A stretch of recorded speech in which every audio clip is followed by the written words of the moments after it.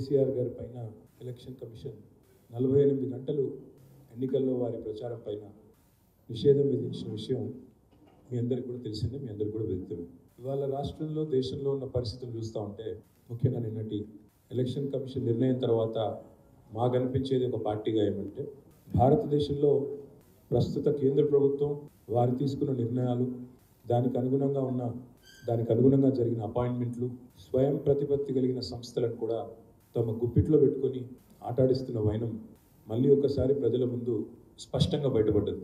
కేంద్ర దర్యాప్తు సంస్థలే కాదు ఈరోజు చివరికి ఎన్నికల కమిషన్ కూడా నేను స్పష్టంగా ఆరోపిస్తున్నాను ఇందులో ఏం మొహమాటం లేదు ఏమీ లేదు. ఎన్నికల కమిషన్ అచ్చంగా బీజేపీ కనుసన్నలో నడుస్తోంది. ఇందులో మాకు ఎలాంటి రెండో ఆలోచన కానీ రెండో అభిప్రాయం కానీ లేదు. ఎందుకంటే ఇవాళ భారతదేశంలో ఎట్లాంటి పరిస్థితి ఉందంటే బీజేపీ వాళ్ళు జాతుల ఆధారంగా మతాల ఆధారంగా స్వయంగా ప్రధానమంత్రి స్వయంగా కేంద్ర హోంశాఖ మంత్రి మత వైషమ్యాలు రెచ్చగొట్టే విధంగా మాట్లాడిన మతాల పట్ల ఒకరి పట్ల ఒకరికి విద్వేషాన్ని రెచ్చగొట్టే విధంగా చాలా దారుణమైన వ్యాఖ్యలు చేసిన ప్రత్యర్థి పార్టీలను బీజేపీ వాళ్ళు బండ బూతులు తిడుతున్నా వాళ్ళ సోషల్ మీడియా అనేది ఇంకా దారుణం. బీజేపీ ఫర్ ఇండియా అని అఫీషియల్ వాళ్ళ ట్విట్టర్ హ్యాండిల్ ఉంటుంది. అందులో మొత్తం ముస్లిం సోదరులందరి మీద విషం చిమ్ముతూ విషం జల్లుతూ డైరెక్ట్గా వాళ్ళ సోషల్ మీడియాలో విషయం చిమ్ముతూ ప్రచారం చేస్తూ ఉన్నారు. కానీ ఒక్కటంటే ఒక్క చర్య లేదు. నరేంద్ర మోడీ గారు మొన్న చాలా దారుణంగా మాట్లాడినారు. మాట్లాడుతూ ఈ దేశంలో ముస్లింలే ఎక్కువ పిల్లలు కంటారని. రేపటి రోజున ఒకవేళ బీజేపీ కాకుండా ఇంకా వేరే వారు అధికారంలోకి వస్తే వారు దేశ సంపదను ఎక్కువ పిల్లలు కలిగిన ముస్లింలకే దోచిపెడతారు పంచి పెడతారని ఇష్టారీతిన వ్యాఖ్యానాలు చేస్తే దాదాపు ఇరవై వేల పైచిలకు ఈ దేశ పౌరులు భారత ఎన్నికల కమిషన్కు ఈమెయిల్ ద్వారా కంప్లైంట్ చేయడం జరిగింది. కానీ ఎన్నికల కమిషన్ ఏం చేసింది? కనీసం మోడీ గారికి నోటీస్ కూడా ఇవ్వలేదు ఈరోజు వరకు. మోడీ గారి మీద చర్యలు తీసుకోవడం వేరు. అంత ధైర్యం ఎట్లాగూ లేదు. కనీసం ఆయనకు నోటీస్ ఇవ్వడానికి కూడా జంకి భారతీయ జనతా పార్టీ అధ్యక్షుడు నడ్డా గారికి నోటీస్ ఇచ్చింది. ఏమని? మోడీ గారి వ్యాఖ్యలకు నడ్డా గారు జవాబు ఇవ్వాలని చెప్పి ఒక తలాతోకాలేని నిర్ణయం ఎన్నికల కమిషన్ తీసుకుంది. ఎన్నికల్లో దేవుణ్ణి మతాన్ని ఇన్వోక్ చేయడం నేరం. ఇదిగోండి కేంద్ర హోంశాఖ మంత్రి అమిత్ షా. ఎన్నికల ప్రచారంలో శ్రీరాముడి బొమ్మ పట్టుకొని ప్రచారం చేస్తున్న వ్యక్తి ఎవరో కాదు కేంద్రంలో ప్రస్తుతం ఉన్న హోంశాఖ మంత్రివర్యులు అమిత్ షా గారు. ఇది దీన్ని కూడా చాలామంది కంప్లైంట్ చేశారు. దేశంలో చాలామంది దీని విషయంలో కూడా చాలా గట్టిగా ఎన్నికల కమిషన్ ఎందుకు చర్యలు తీసుకోవట్లేదని చెప్పి నిలదీసినారు. దాని మీద కూడా ఈ రోజు వరకు చర్య లేదు. కనీసం ఉలుకు లేదు పలుకు లేదు. ఇది మరొక భారతీయ జనతా పార్టీ అభ్యర్థి అరుణ్ గోవిల్. ఈయన గతంలో టీవీలో రామాయణం అనే సీరియల్ వస్తే అందులో రాముడి పాత్రధారి. ఆయన కూడా శ్రీరాముడి పటం పట్టుకొని ప్రచారం చేసుకుంటున్న దృశ్యాలు ఆయన మీద కూడా ఇంతవరకు ఒక చర్య కానీ కనీసం ఆయనకు ఒక నోటీస్ కానీ ఎన్నడూ లేదు. ఇది ఇంకా దారుణం. ఇది చూడండి. ఇది బీజేపీ ఫర్ ఇండియా. వాళ్ళ అఫీషియల్ హ్యాండిల్ మొత్తం పార్టీ యొక్క అఫీషియల్ ట్విట్టర్ హ్యాండిల్.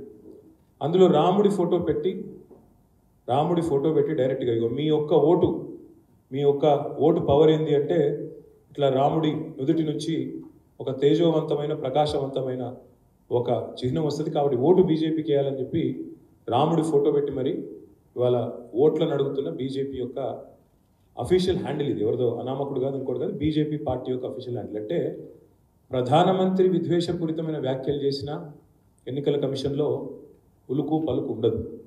అదేవిధంగా కేంద్ర హోంశాఖ మంత్రి స్వయంగా రాముడి ఫోటో పట్టుకుని ఓట్లు అడుక్కున్నా ఉలుకుండదు పలుకుండదు.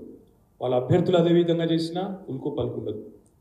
మత విద్వేషాలను రెచ్చగొట్టే విధంగా హిందువులను ముస్లింలను విభజించే విధంగా పార్టీ అఫీషియల్ హ్యాండిల్ నుంచి దాడి జరిగినా ఎన్నికల కమిషన్ మేల్కోదు. కానీ అదే కేసీఆర్ గారి విషయానికి వస్తే మాత్రం ఆగమేఘాల మీద ఒక నోటీస్ ఇచ్చినారు. నోటీస్ ఇచ్చిన తర్వాత మేము స్పందించాం. స్పందించి మా లాయర్లు మా పార్టీ నాయకులు దానికి తగిన విధంగా మా లీగల్ సెల్ ప్రత్యుత్తరం ఇచ్చింది జవాబు ఇచ్చింది. ఏ కారణం చేత? కేసీఆర్ గారు సిరిసిల్లకు వచ్చారు. ఈ మధ్యకాలంలో ఎండిన పంటల పరిశీలనకు కరీంనగర్ జిల్లాకు వచ్చి చివరిలో సిరిసిల్లలో ఒక ప్రెస్ మీట్ పెట్టారు ఏమన్నారు ప్రెస్ మీట్లో? ఎండిన పంటలు చూసిన తర్వాత రైతుల ఆర్తనాదాలు విన్న తర్వాత కాంగ్రెస్ పార్టీకి ఈ ప్రభుత్వానికి బుద్ధి లేదు. వీళ్ళు ఇది కాలం తెచ్చిన కరువు కాదు ఇది కాంగ్రెస్ తెచ్చిన కరువు.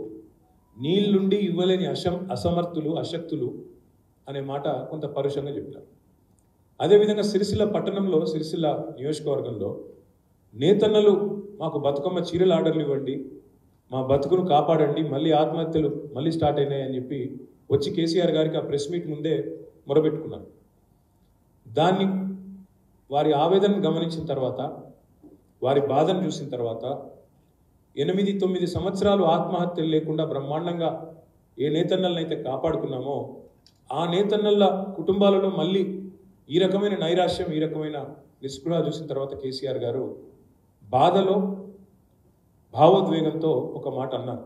ఏమన్నారు? నిరోధులు పాపడాలు అమ్ముకోండి అని ఒక దుర్మార్గుడు ఇక్కడ మాట్లాడుతున్నాడు కాంగ్రెస్ నాయకుడు నేతన్నల్ని. ఇది అంటే ఇన్ని మాటలు ఈ- ఈ ఒక్క మాట మాట్లాడితేనేమో ఇవాళ కేసీఆర్ గారి గొంతు నొక్కి నాలుగు కోట్ల ప్రజల తరపున రాష్ట్రంలోని నేతన్నల తరపున రైతన్నల తరపున మాట్లాడిన ఆయననేమో వెంటనే నలభై ఎనిమిది గంటల నిషేధం. అదే మరి ఈ రాష్ట్ర ముఖ్యమంత్రి రేవంత్ రెడ్డి ఆయన మీద మేము ఇప్పటికీ ఎనిమిది కంప్లైంట్లు ఇచ్చినాం.